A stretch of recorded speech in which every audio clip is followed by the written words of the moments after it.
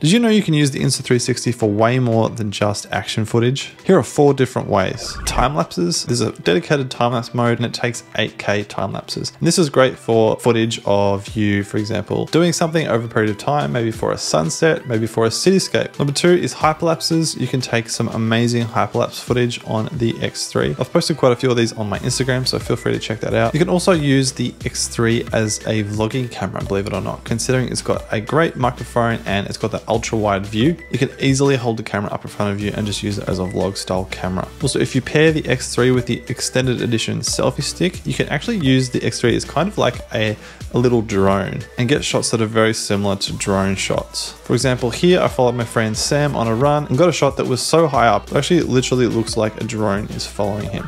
Be sure to follow for more Insta360 tips and videos.